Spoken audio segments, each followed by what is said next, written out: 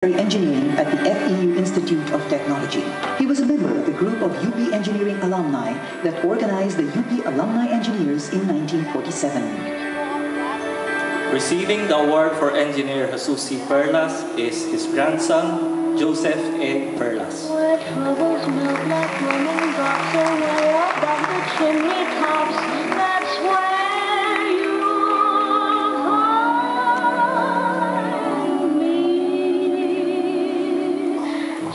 Our next awardee is Engineer Antoline M. Oreta Sr.,